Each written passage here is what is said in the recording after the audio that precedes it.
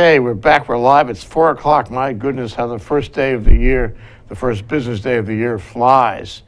But we're having a great day. We've had some great shows and great discussions, and I feel my mind is opening for the new year, but especially now with Russell Koehler. Welcome to the show, Russell. Thank you. It's, it's great to be here. Finally, you know, Yeah. without any of the internet problems or being in another country, I'm finally back. I'm finally in the studio. It's nice to actually talk face to face. what a trip. Exactly. You know, Russell and I were talking, what, a couple of times, wasn't Yep. it, from Istanbul, which was, uh, as I was tell, telling him before the show began, you know, if we could talk to him and see Turkey through his eyes, it was like we were there. It expands our consciousness to be able to see it through his eyes. So fabulous experience both times. Exactly, and, and even through both times, I can't even I can't do it justice. The, the country is far more complicated and and so intriguing than even I could could describe or explain. So I don't know if I ever told you, Russell, but uh, one of the uh, points of interest for mm-hmm. me about Turkey, aside the fact I've been there and I've mm-hmm. written about it actually, um, I'll tell you about that too, um, was we had we had a, a host here, um, and he was a guest also, and he's an Israeli by the name of Rafi Boritzer. And this is the time when things were going haywire in Gaza, two years ago, I think. And so I had a bunch of people from various walks of life and various points of view come on the show, and we all talked about Gaza. And his thing, which I will never forget ever, ever, ever, is you cannot understand the Middle East without understanding Turkey. Turkey is the capstone, it's a piece of Europe that sits right on top of the Middle East. And it has been enormously influential for hundreds and hundreds of years. So, if you want to know what's really going on in the Middle East, you have to know Turkey. You're absolutely right. I mean, the, the modern governing structures of the political Middle East comes out of the, the collapse of the Ottoman Empire after First World War. Of course, there have been conditions set after, uh, after the First World War and into the 1970s, um, but you know, regardless of all that, Turkey and its predecessors, the Ottomans, had a huge influence uh, over the, the political landscape and the, the sociocultural landscape of the Middle East today. which which makes me think of a thought I often have, uh, and that is the famous quote from George Santayana, which was, uh, "If you if you uh, don't if you don't remember history, if you don't study history, you get to you'd be doomed to relive history." And I frankly don't think that people give enough respect to history because it is where we all came from. It it is the vectors and the factors that make us what we are today. Exactly, and, and to your point, you know, I had a, I had a history professor at, at HPU, uh, Hawaii Pacific University, and he told me just a similar quote. I think it was from his own uh, mind. However, he said that you know history may not, history repeats itself, but in different shades, and so you have these same events, but in different contexts, and so we need to, as you say, respect. Um, respect the events that, is, that have happened throughout history in our own countries as well as previously to really understand and hopefully foresee what could possibly happen. I got another one for you. It's my movie theory. Okay, I practiced law for 40 years, right? And I developed this movie theory. And my movie theory is that once you understood the, the, the lawyer on the other side, once you had his movie, because everybody has a movie, It's a series of characteristics and, and habits and stratagems and things that pop up. It's his whole, you know, attitude, way of doing business, way of practicing law. Once you got the movie, then you could predict what he and his client were going to do in the next movie. So, and you know, I guess you could apply the same thing to people in general and to states and countries.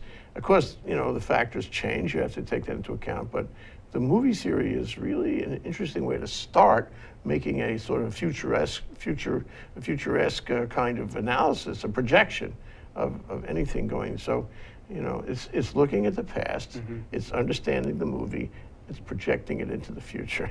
Yeah, no, and, and I think you're absolutely right. I mean, the best way that we're able to, you know, hopefully, again, hopefully predict what, you know, decisions are being made, whether they be in the Middle East or in Europe, is based on what we've seen in the past, the, the sort of tendencies that these leaders these leaders make. Of course, it's more difficult in democracies, considering leaders change every now and then.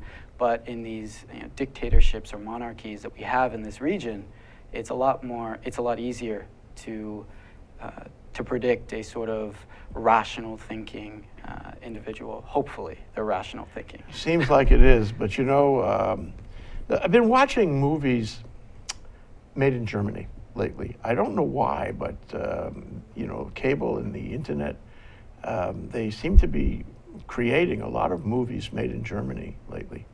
And one of the interesting subjects that these movies uh, deal with is, is World War II and the Nazis and the camps and all those very unpleasant, terribly unpleasant, grotesque things.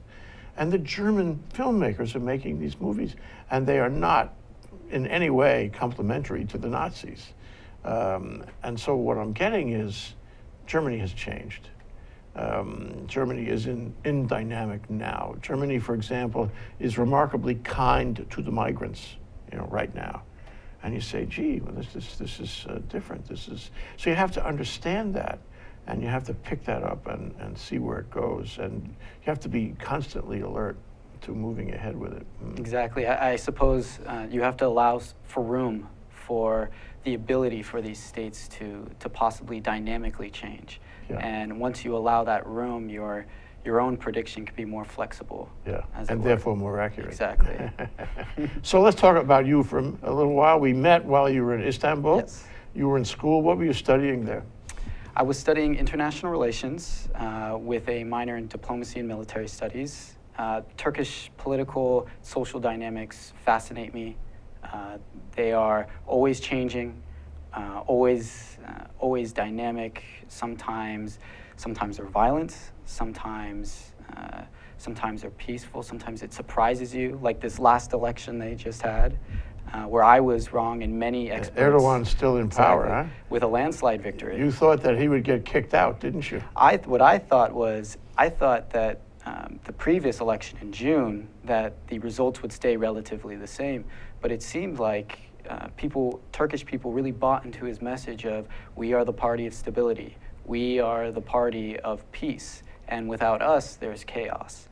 And unfortunately, nationalism um, in many parts of the world uh, gets a lot of points at yeah, home. Yeah, yeah. It's the yeah. easiest way to to gain an electorate or yeah. uh, get an election. It's an aspirational thing. We want to be stable. Exactly. So we vote for nationalism. And anybody who hands us that line, he, he, yeah, I wonder about Donald Trump. Never mind. so, uh, okay, so you left there a few months ago, yep. went to Washington. What are you doing now? Right now, I am uh, working in the uh, Senator Brian Schatz's office as an intern. Uh, it's been a fascinating environment, quite a change from sort of my more active role uh, when I was in Istanbul. Uh, I, the people there are extremely passionate. Um, it feels like I'm in Hawaii. It's, it's been amazing. Uh, so it's been a great transition for me to be over there. And we're in touch with you. I'm so happy and pleased and proud about that. Thank you, Russell. You're welcome. You're, you know, it's, it's not just now, it's, it's more than now that you're with us. So stay, stay with us. Of course, of course. Okay, so let's talk about some subjects now. Um, so we've been following, I guess we should start out, we did, kind of start out with Turkey and what's happened. And Turkey uh, having a certain amount of terrorism from ISIS, a certain amount of fighting with the Kurds. Um, is, that, is that resolved? Is it better? Is it the same? Is it worse? What? You know, the situation in Turkey is, is unfortunately well, it stayed relatively the same. You know, the, the conflict between the PKK, the Kurdish terrorist organization uh, in Turkey, uh, and the government, uh, they're still they're still fighting.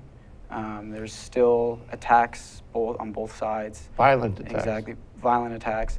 And the Turkish government has uh, really used what we would what we would probably see as martial law in these areas of southeastern Turkey uh, on, the popul- on, the, on the populace. And so you have curfews um, for the entire populace of these towns and cities, as well as some, of course, police abuses and such. Um, they're really trying to clamp down on the security situation in the southeast. Uh, when it comes to ISIS, Uh, there have been improvements on the amount of arrests that have been taking place in Istanbul, in Ankara.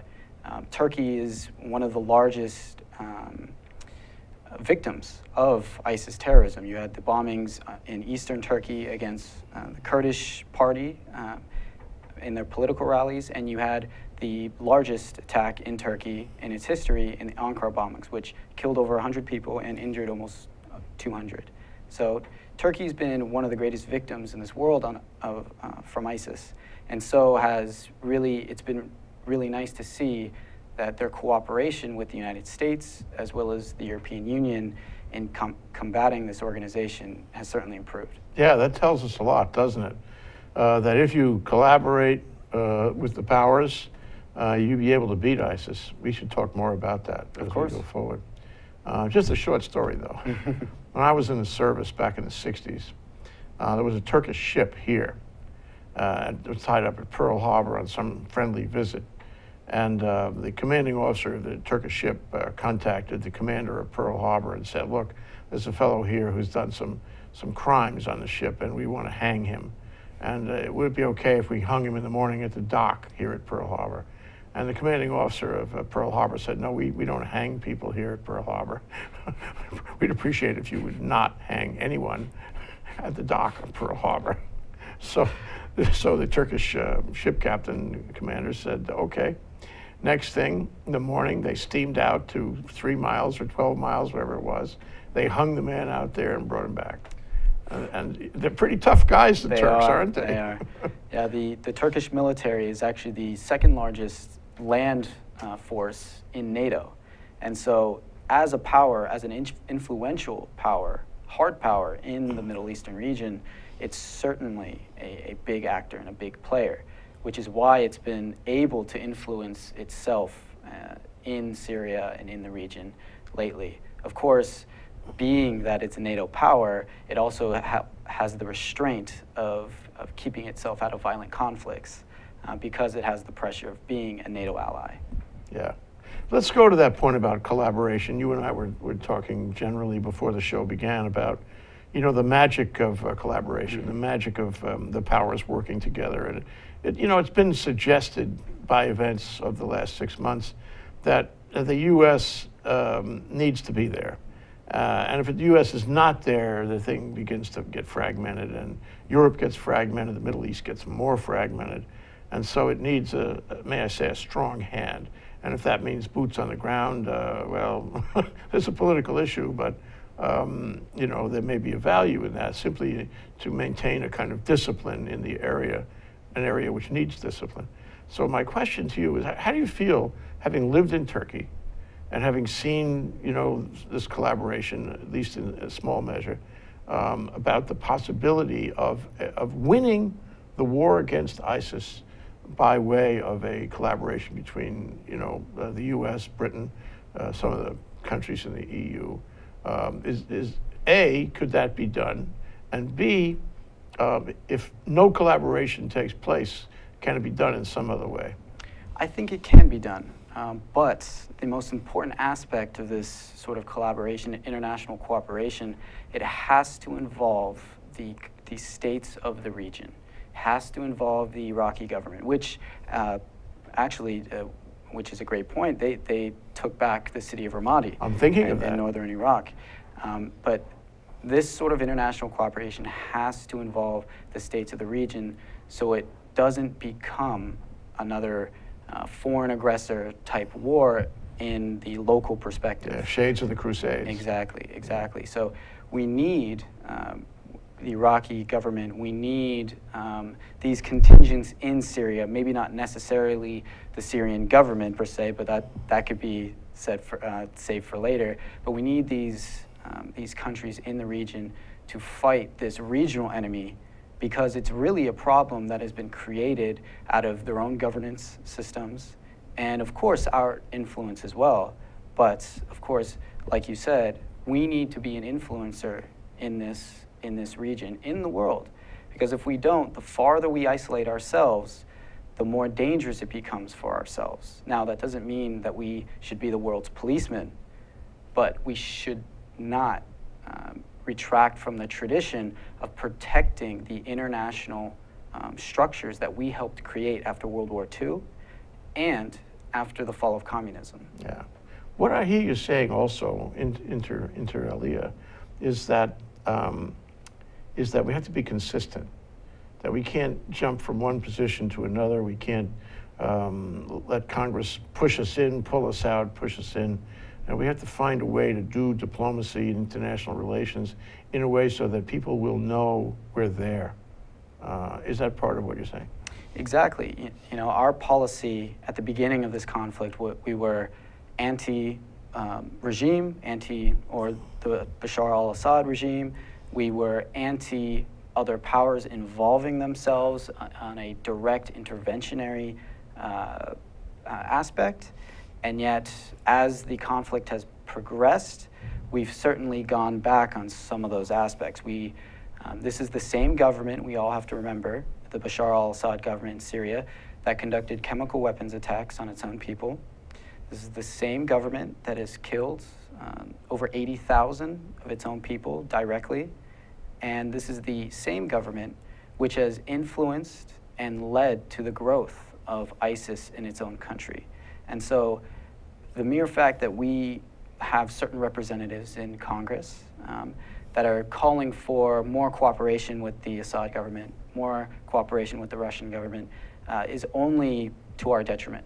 It's only to the detriment of the people of the region and the refugees who are fleeing the regime, not ISIS, the regime. What I also hear you saying, or at least maybe it's me saying it, is that hmm, you know sometimes you have an executive, you should let him do his job and not get in the way. And if Congress could learn that, we'd be better off diplomatically. Don't don't uh, pull the president back. Let the president do his job as he sees fit. He is the president.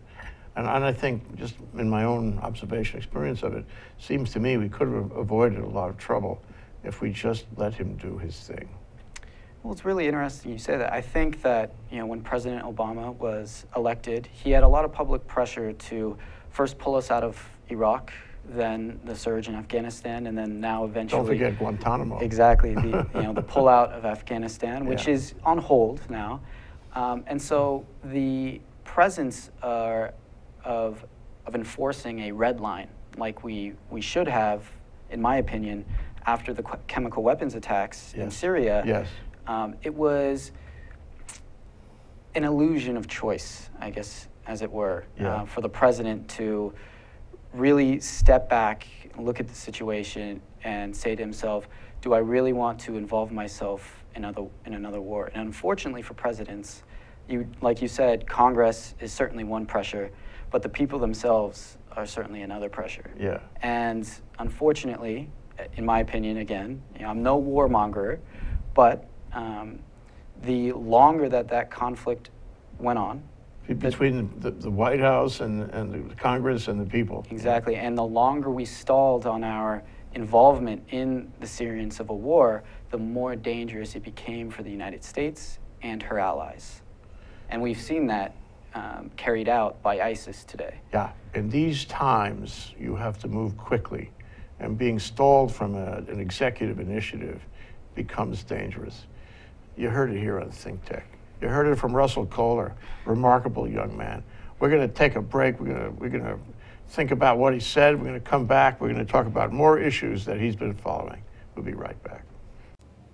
Aloha! Hello, my name is Patrick Bratton. I'm host of Global Connections here at ThinkTech Hawaii. We broadcast live every Thursday at 1 p.m. We bring Hawaii to the world and the world to Hawaii, talking about international events and various things of interest to the audience. Please join me. I look forward to talking with you and having you get, get to meet some of my guests.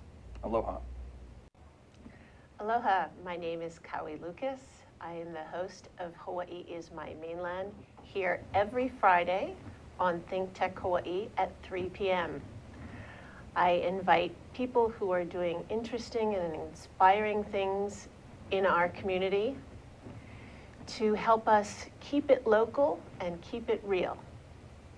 Tune in any Friday, 3 p.m., and also available on our YouTube channel and my blog, kawilucas.com. Hawaii is my mainland. Aloha. Okay, well, we have a, we have a question um, on Twitter. If history repeats itself, and if life is akin to cinema, what events or, firm, or films parallel the development of ISIS? Wow. Wow. Well, some of those prison camps sound equally amoral.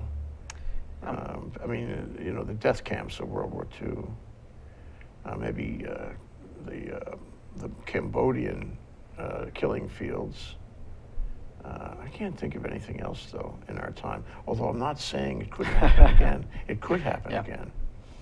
You know, I would certainly say any movie that has depicted the rise of, let's say, the Third Reich in Germany. Not to say that ISIS certainly has any of the political military power that Nazi Germany did um, at that time, but an ideology which is um, which is equally as destructive as it is seductive, um, and is based upon the idea that you will live a better life if you fight for this ideology.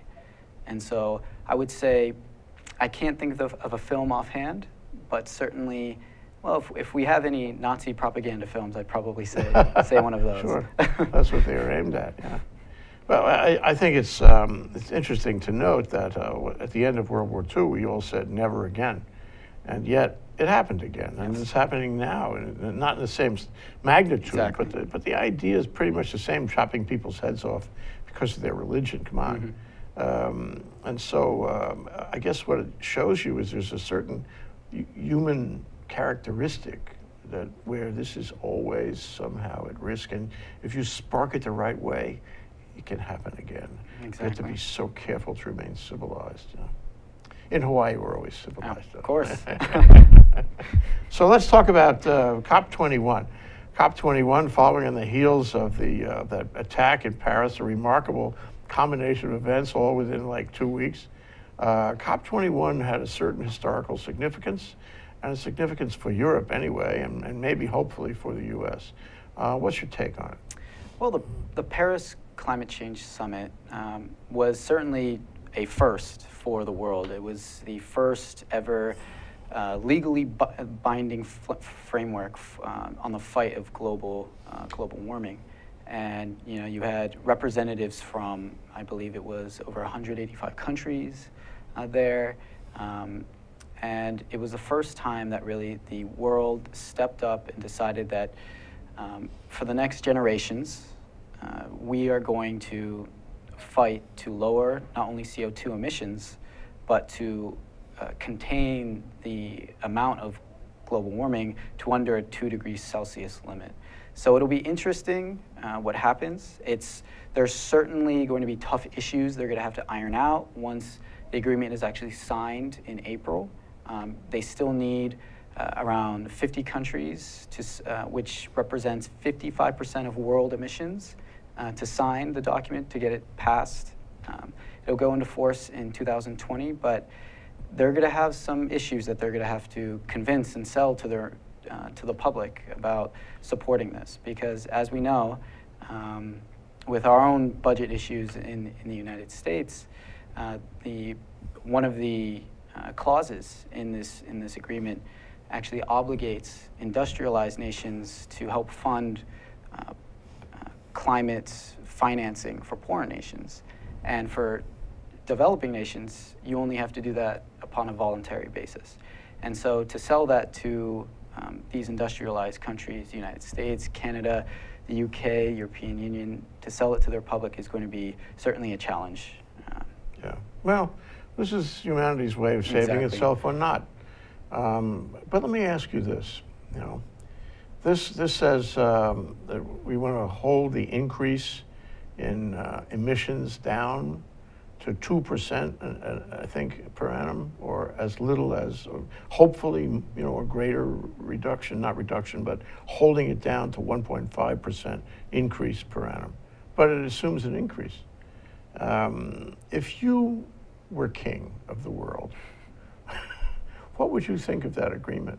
We're living in an emergency. There are people who sit on that chair all week long and tell us from the University of Hawaii, which is a, a, a you know a global resource on understanding the planet Exactly. um, that you know we're in an emergency here. We can't afford to fool around. There are storms that are happening that are unprecedented.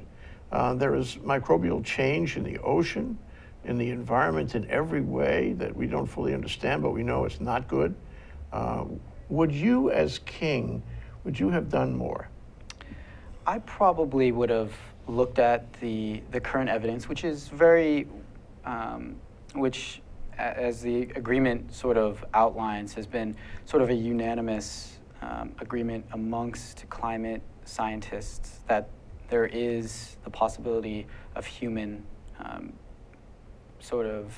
Uh, Destruction. Exactly. Sorry. Um, no, you're, you're absolutely right on, on the climate, and that this will influence the temperature change into the future. And so I'd probably take that evidence and build a case around it and try to sell it to my. So if I was king, that's a different story. But if I, let's say, I'm elected president of the world, okay. um, it's I'd- coming. It's coming. I'd, I'd make Be a, patient. I'd make a case and and hopefully convince as many people as I could that this is coming and that we do need to act in a different. We need to change our behavior. We need to understand that in order to save ourselves, sometimes you know we need to adapt.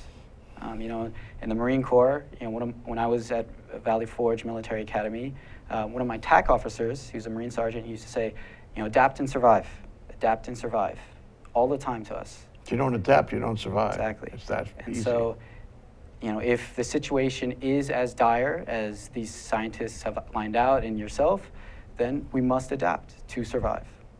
Yeah. So scary. I mean, uh, I, I, I think it was watered down, sorry. And the, the question is, you know, if nothing happens for years, and then it's a five-year reopening, I'd make it, I'd open it up every year. Um, I'd, I'd make it an emergency. Uh, so, you know, this, this is your generation, not mine. Exactly. And uh, Russell, you better watch out for those guys, you know, because they may be sleeping at the, at the stick. I certainly will. Thank you.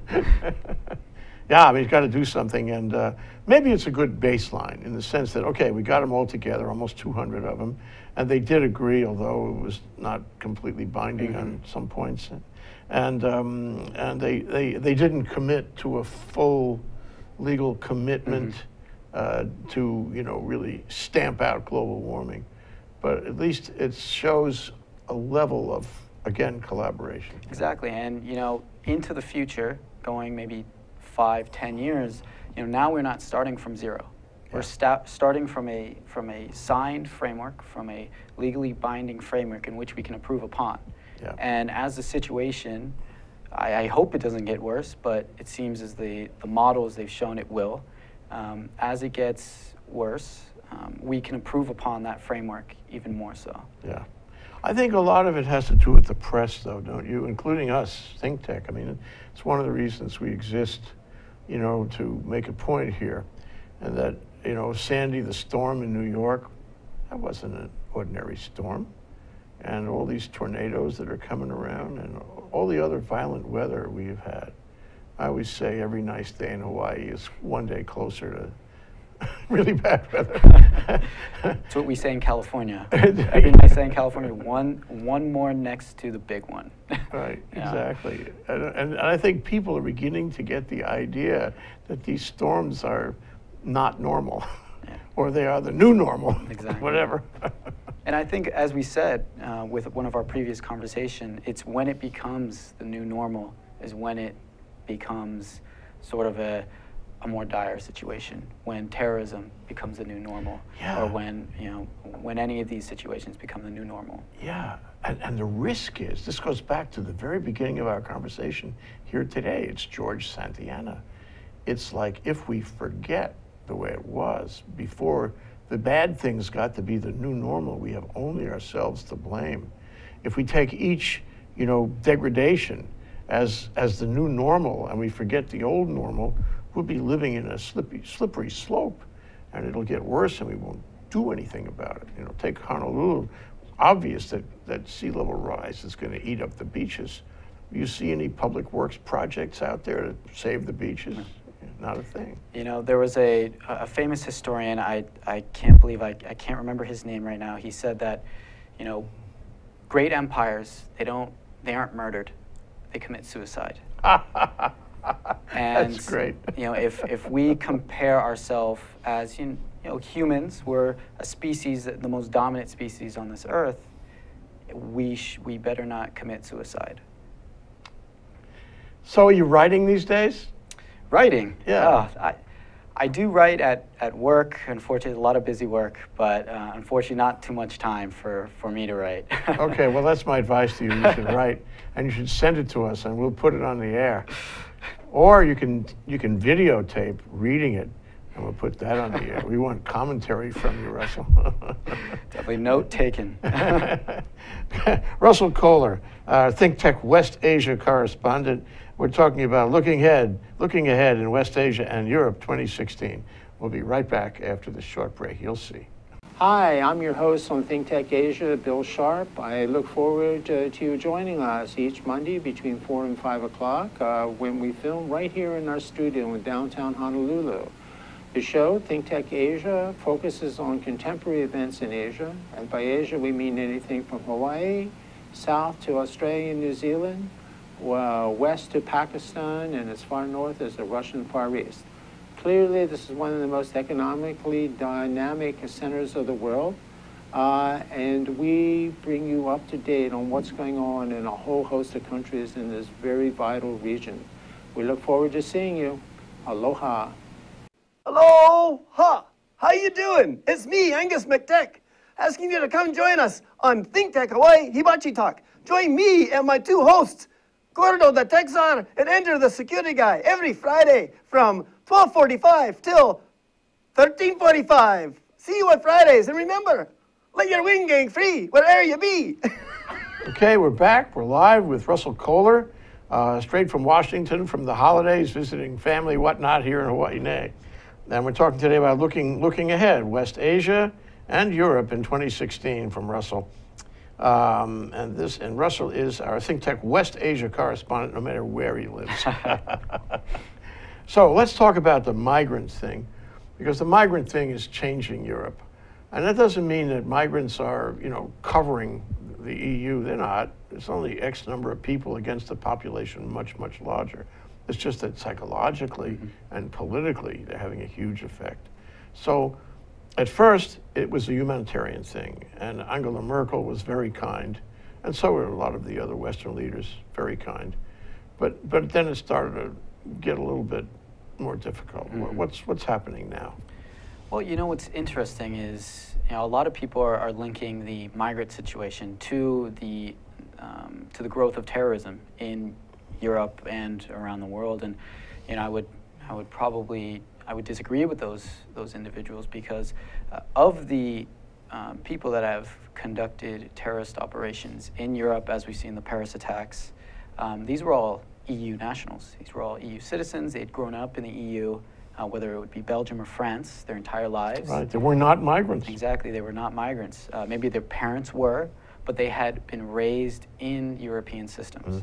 Um, these people that are fleeing a probably the worst violence that any of us will ever see, hopefully, um, are making extreme sacrifices to bring not only themselves but their children and their families a better future. Um, I actually had the opportunity to speak with a very good friend of mine, uh, Marie. Uh, she works for uh, the Boat Refugee Foundation in Lesbos, Greece.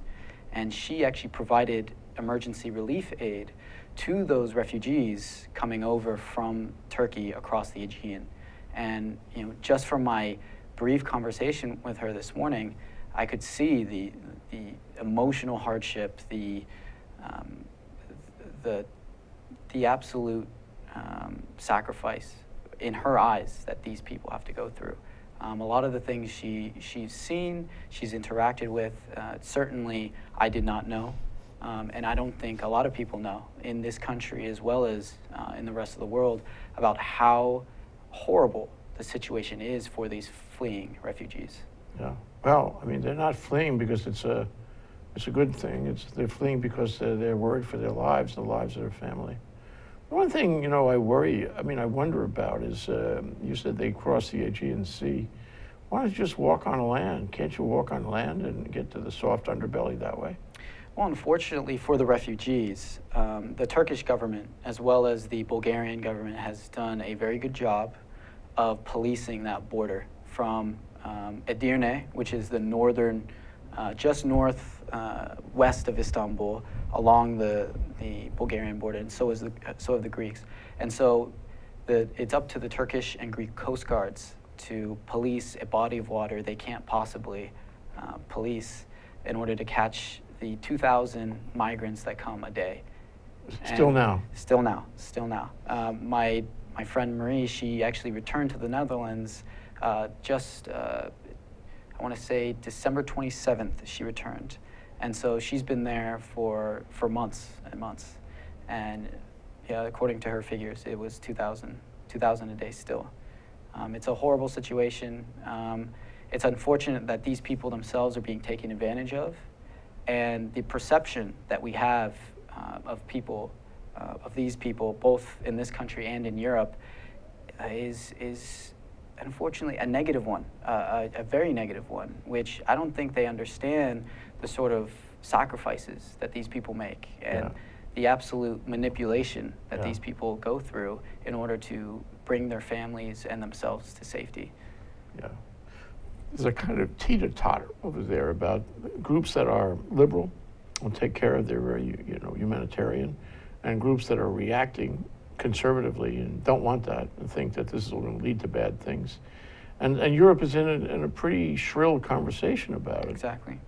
which is going to reflect itself in a political way soon enough. Um, I think um, this is a very hard time for Europe uh, because they they got you know whatever else was going on, this has come right up to the top of the priority list, and it doesn't help the EU function. I mean, last time we looked, there was all this trouble about Greece. You know, it's like, is Greece fixed now? No, it's not fixed. Is, is the refugee problem fixed now? No, it's not fixed. Are the stabbings in uh, in Jerusalem fixed? No, it still happens. Is the fickle finger of the press moves on, and again, like uh, George Santayana, we forget what happened just a, a few days, a few weeks ago, and that's the problem with with the news. Yeah, and it's and you know it's so sad in the EU where when you think of the European Union, you think at least uh, political scientists and analysts they think of the EU has great soft power. It has great ability to attract other people. It has great economic power. Uh, it, it uses its humanitarianism to really uh, promote itself in the world. European Union doesn't really have much of hard power, certainly of cooperation between themselves. The unfortunate thing is what we have now coming out of the refugee crisis, the migrant crisis, uh, the economic crisis in Greece is, well, it looks like the EU is having trouble with their soft power. They're having trouble convincing themselves that they should pursue these humanitarian policies. And they've consistently not had the sort of hard power that it needs to help um, promote peace in these certain regions. And so, what it comes to now is Europe is becoming, well, rather stale and rather static. Um, so, it, it has Uh, to. what did you say about you got to change with your your marine? Uh, You gotta adapt, adapt, and survive. they're not adapting. Exactly. This is not a good thing. Exactly. So you mentioned before, and I don't quibble with it, that we should not assume a relationship between the migrants and, uh, and the terrorists. But um, I think we can come to the conclusion that ISIS is in Europe. They're recruiting in Europe. They're spreading their, their poison in Europe. And they're making ordinary European citizens into murderers. That's a really remarkable psychological process, how they do that. But as I said before, you know, under the veneer, we're mammals, and you know, human beings are capable of being turned into monsters. That's the way it works. And so we have ordinary European citizens that are being turned into monsters. Um, so clearly, um, ISIS has found a way to get into Europe and do damage in Europe. Um, how widespread is that? How troubling is that? It's very troubling, and you know, it's it's very sad because Um, like the experience we had with Al Qaeda in the mid early 2000s, um, with the um, Atocha bombings, the London train bombings. I mean, these, these people didn't train with Al Qaeda in Afghanistan. These people were radicalized at home. And it's the same thing with the, with the Parisian attackers. There were uh, two that traveled to Syria and back, but more so than not, um, these, these individuals who are radicalized are radicalized at home. And it's a sad fact that um, you have an ideology which takes advantage of the vulnerability of these young people in Europe from these um, isolated communities. Um, and by isolated, I mean disenfranchised communities in these states where it's really a two way problem. It's a problem where we have this uh, seductive, destructive ideology um, in the form of ISIS, um, convincing these kids that in order to, you know, to change things in their country, they have to fight and they have to die. But it's also a problem with that the European governments are facing in providing a more inclusive society to these communities. And so what we're having now is a problem that is going to be very difficult to solve in the future. Yeah. You know, I, uh, a few weeks ago, somebody sent me a link to a, a movie uh, of, a, of a young Arab man who had converted to Christianity. And he was from the Middle East. And he was, it's a movie directed at the president, our President Obama. And he said, President, you, you have to, uh, you've been, you've been uh, avoiding a, a, a, primary issue here. And the issue is that within Islam, there is there are the seeds for ISIS. Um, that there's a violence there, and it, you can't you can't say that it's not related. It is related. And he said, I'm I was a Muslim and I you know trained and I learned to hate when I was a kid and and now I'm I'm better. I went to school. I thought my way through to a different conclusion. Um, and I'm here to tell you, don't, don't think that there's a relationship. And if you want to solve the problem, you have to build that into your thinking. Um, that's very interesting, this, this movie is going around. Um, but it, it creates, you know, it opens this issue, which I'm sure exists in Europe and in the US, as, you know, can you, can you uh, exclude Islam from the blame? Can you say, uh, we, we know that these guys, are they're sort of tripping off some Islamic concepts, the violent part of the Quran, maybe, uh, and they're doing their violence, but you can't blame all of Islam for that. Uh, the question is, which part? Where's the line? I, this must go on in Europe, and oh, I know it goes on in the U.S. Of course, and you know, it's. I think it's a fundamental question that has been asked many, many times, uh, even even since 9/11, and I would argue that no, the, the relationship there is a political one. Um, where we see political chaos, where we see societal, cultural chaos, we see radicalization, we see terrorism. Where we see political, cultural, societal peace, like in Indonesia, 500 million Muslims, the largest Islamic state in the world, peace. Uh, when we see it in Malaysia, uh, peace. Uh, when we see it in Bangladesh, we see peace. And when we move over to the Middle East, you see the conditions set. Uh, you have a great power rivalry in the region, Iran, Saudi Arabia. You know, this goes beyond the fact that they're Shia, Sunni rivals. This is mainly a geopolitical rivalry, uh, two oil uh, powerhouses in the region trying to exert their influence. You have dictators in the region that are abusing the human rights of their own citizens.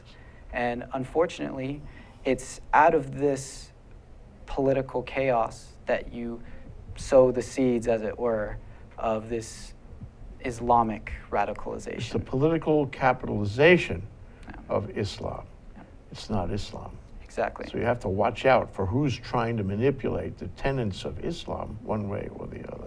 Exactly, because in Turkey, as in a country like Turkey, which has elected more national leaders that were females than the United States had. same in Indo- Perfect. exactly same in Indonesia. They all have their problems, so, so do we, but they're relatively peaceful. They don't have that sort of Islamic radicalization you see in this specific region.